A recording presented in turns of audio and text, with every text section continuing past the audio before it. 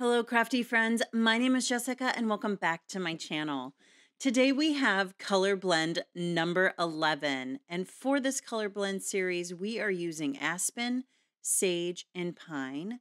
If you're new here, these are the Pawsitively Saturated inks, and I absolutely love them. I've been doing a color blend series here on YouTube, and this is number 11. I'll place a comment card up in the upper right hand corner for you to see the full playlist. We're going to go ahead and get started. This is the ink blending paper that I like to use. This is Simon Says Stamp 130 pound smooth white cardstock, and it's my absolute favorite for ink blending. There are many ink blending papers on the market. This is just the one that I prefer. There are others such as Not Your Mama's Cardstock, Hammermill Smooth, as well as Bristol Smooth. Those are all really great papers that would do great for ink blending. Now we're just getting started here with aspen, and now we're into sage, and then we're going to move into pine. I like to use brushes for my ink blending, especially with my dye inks. I feel like I get the best results when I use brushes. Also, if you're new here, a little bit about these inks. These are dye inks. They are water reactive, but they are the best inks that I've ever played with that have the ability to smooth back. So while it looks a little bit splotchy here, later on in the video, we are going to see that these inks dry back and we'll do a close up on how they smooth completely back and you won't get any of the harsh lines or the dappling that you're kind of seeing here now. This is a really great color combo that would be great for a forest scene or a cabin scene or a monotone. Maybe you want to do some gold cardstock would look great with this trio. But this is aspen, sage, and pine. So we're going to go ahead and do a quick cleanup and then we're going to move on to the third panel. This video I filmed very late at night one night and I it, I was a little bit off my game. So I don't have my little paper that I pull out to tell us what we're doing, but here I'm going to do it verbally.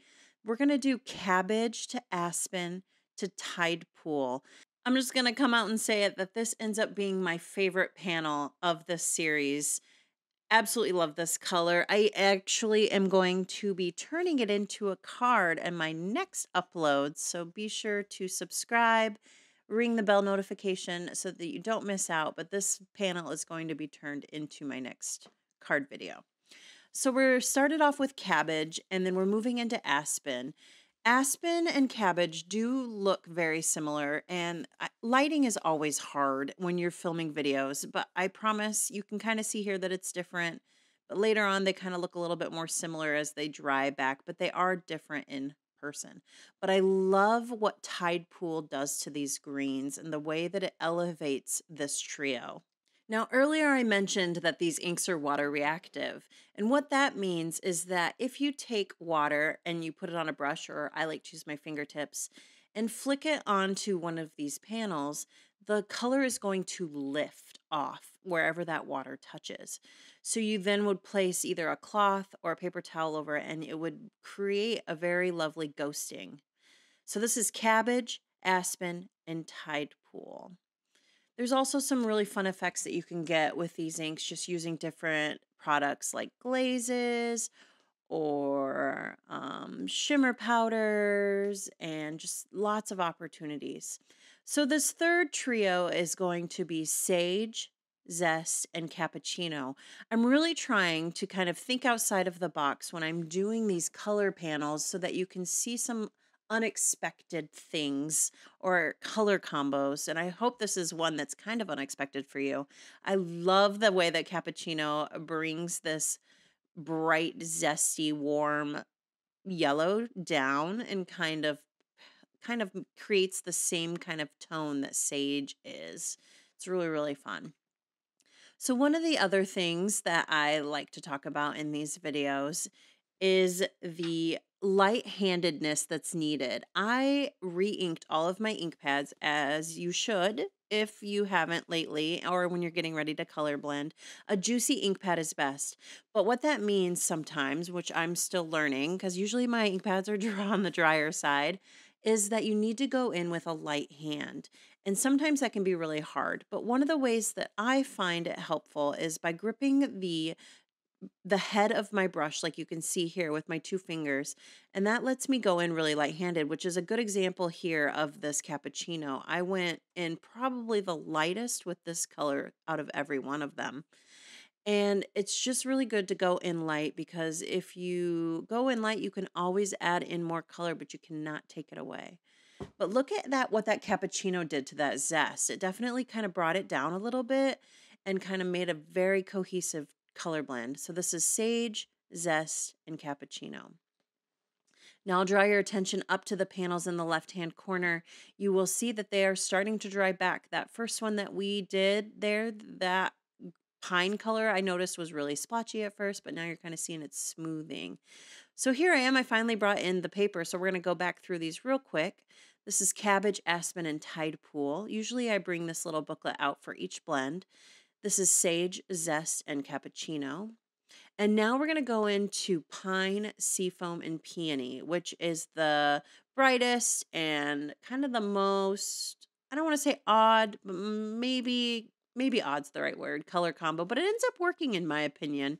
We do get that fourth color when we blend seafoam and peonies. So that's always fun when you can get additional colors by blending two colors over top of each other.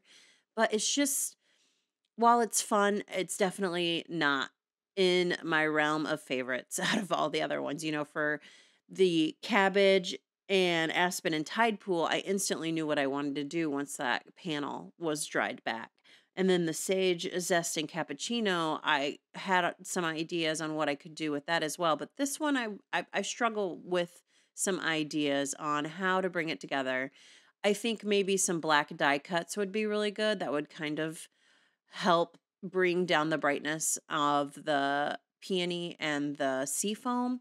And when I say that, I don't mean to like dull the color, but just kind of dial it back a little bit because peony is quite an intense pink and paired with that seafoam they they are quite a force so now we're just going to go in and add the pine and this is definitely a color you want to start off light-handed with because it is quite potent as you layer it down dark I didn't do a very good job with it because I got this ink pad extra juicy and then I felt like I had to cover up my brush strokes. So Got a little heavy handed on this one. Would these colors have been maybe a little bit more enjoyable if I hadn't gone so heavy handed? Potentially. But like I said, I think it's just that I don't have a vision for this panel, and that's why I'm struggling with it. But this is Peony, Tide Pool, and Pine. So we're going to go ahead and do a quick cleanup, and then we're going to go ahead and dry these panels off camera so that you can see what they look like in their dry back state. I just want to let you know that I do have all of the colors and the products that we use today linked in the description box below. I do use affiliate links, and so what that means is that if you shop with me, I get a small commission. So that first panel was aspen, sage, and pine, and look at how beautifully it dried back. That pine color is definitely more muted and more blendable into the sage. Now this is cabin, to Aspen to Tide Pool, my favorite panel of the series today. This is Sage, Zest, and Cappuccino. Just the colors, they just blend back so beautifully. And then to wrap it up, we have Peony, Seafoam, and Pine. Well, that's the color cards for today. I hope you enjoyed these. Please let me know which of the color combos was your favorite in the comments below. And I look forward to seeing you at the next video. Take care.